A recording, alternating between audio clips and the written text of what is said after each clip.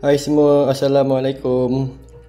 Okay, selamat datang ke channel saya ni. Uh, Okay, selamat datang dan selamat kembali lah. Pada uh, hari ni saya nak buat review sikit ulasan tentang gadget ni lah. Pulse oximeter ni Yang saya beli kat Shopee. Uh, Jadi Ni harga murah je lah.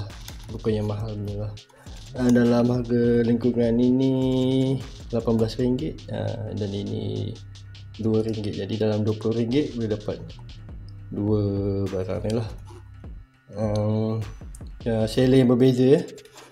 Ni kedai lain ni kedai lain lah. Jadi saya percaya yang saya tengok pada review dan saya pilih lah. Ok lah kita tengok pada kotak osimeter ni macam ni lah. Ke depan dia iaitu uh, model iaitu uh, bawah dia macam ni lah. Easy to display low battery indicator dia ada uh, ok dia ada strap pouch tu. Easy to read. Tapi dia ni lah. SPO2 punya data VR RPM dengan sleep monitoring. Jadi caution dia ha, ni lah. Uh, mudah meletup je. Jadi tak boleh dekat dengan gas lah sebab dia pakai infrared. Hmm, atau kalau masuk MRI ke CT scan ke tak boleh pakai. Sebab dia ada infrared uh, untuk baca tu ini tepi dia bawah tak ada apa. Atas jadi kita boleh buka lah.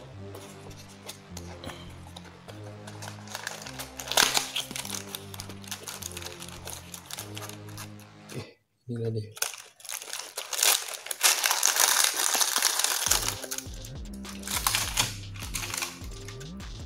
Ni meter dia.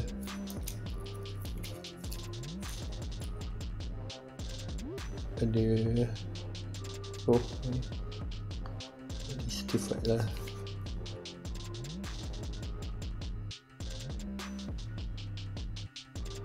kadar yang sesuai.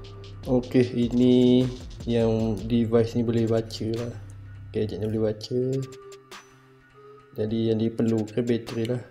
DC 3V atau bateri 3A ni 2 biji lepas tu dia boleh baca daripada 70 ke 100% SPO2 dan bit dia pun dia boleh baca takat ni lah. 25 sampai 250 bit per minit. Okay, dia dia bagi strap juga. Jadi boleh gantung kat sini.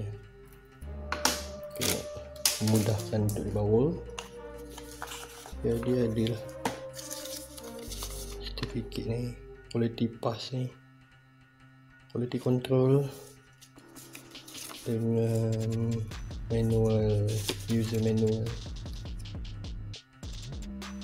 Macam mana nak pakai dia lah.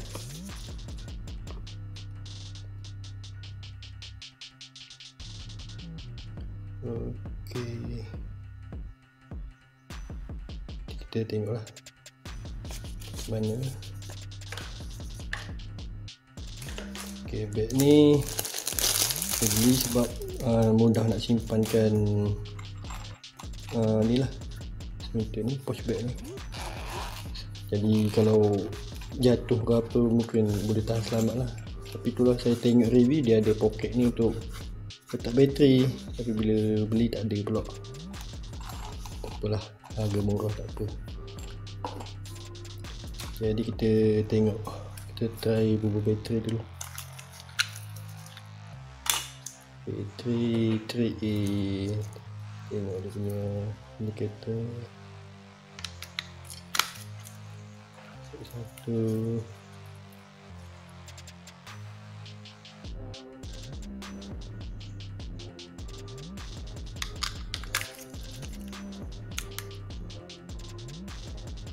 Okey. Okey. tapi tak cerah. Jadi.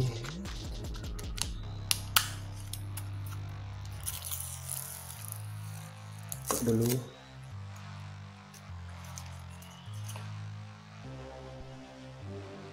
Tengok dia punya. Ok saya terpaksa tutup lampu lah.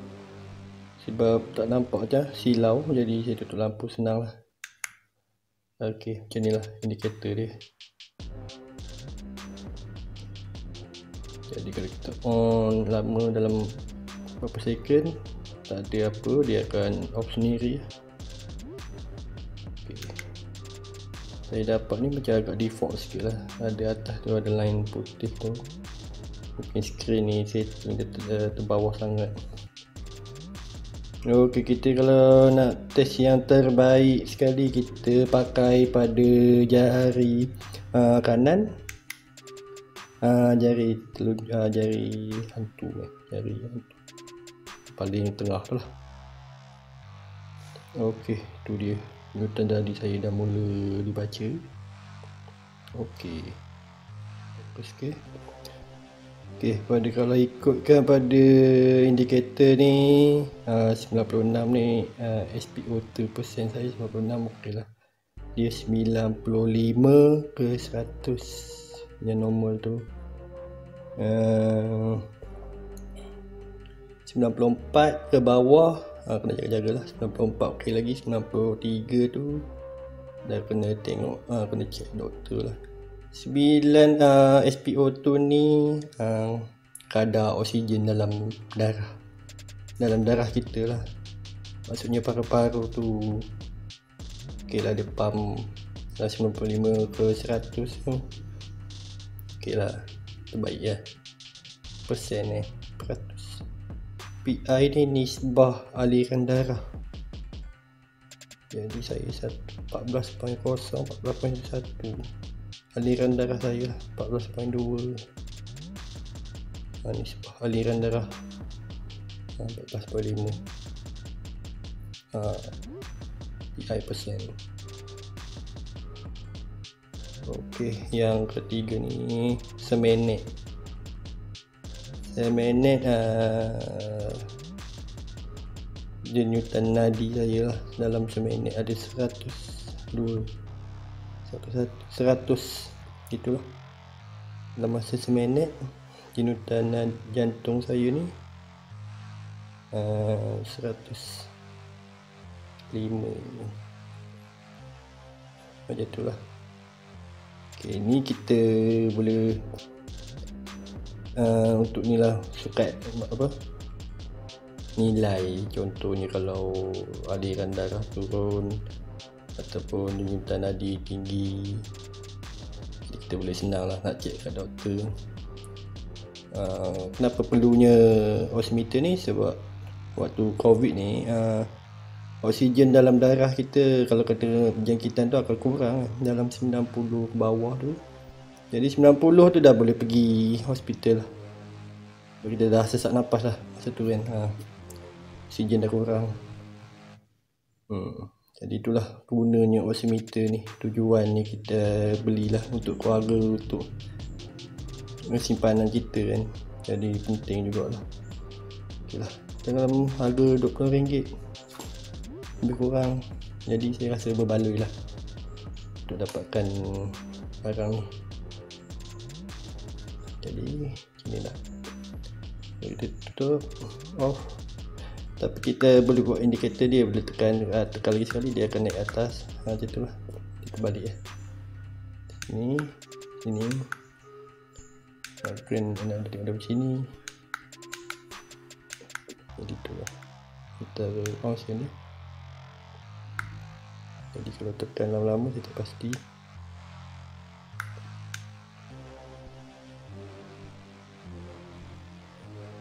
Reading dia dia tu. Ok kita tengok. Kalau kita letak pen atau pensil dia ada baca reading tak?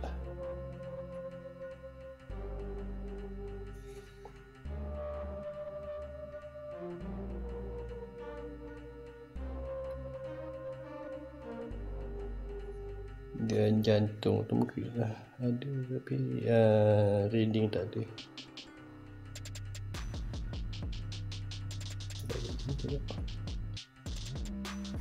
oh, masih ada juga. Kalau lepas balik kan tapi uh, nadi dengan SPO2 ni tak ada. PI pun tak ada. Kalau tak pen eh. Jadi benda ni kira fungsi jugalah dengan baik lah. Jari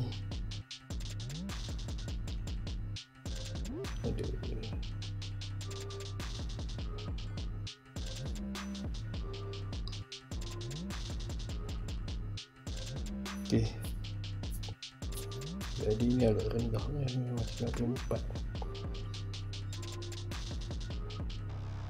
Jadi Saya recommend lah kalau nak Kalau sesuatu uh, benda yang murah Untuk disimpan di rumah. Pesalah ni kan. Mungkin dia dapat membantu kita kan Keluarga kita. Okay, kalau nak beli uh, produk ni House meter ni saya akan uh, letak link di deskripsi di bawah lah. Kalau berminat bolehlah. Uh, saya akan letak link yang man, kedai mana yang saya beli casing dengan oximeter ni dekat deskripsi di bawah. Ok lah. Uh, untuk kali ni setakat ni je lah. Jadi kita sama-sama lah jaga diri kita jaga keluarga kita. Uh, pakai mask uh, apa uh, selalu basuh tangan mandi sanitize tangan. Okey. Kita doakan juga pada kawan-kawan kita yang kenalan kita yang masuk ke waktu covid kita doakan selamat lah. Dapat pulang ke rumah masing-masing. Okey dan saya nak ucapkan terima kasih kerana menonton video ni. Uh, jangan lupa like dan subscribe channel saya Okey. Jumpa lagi. Assalamualaikum.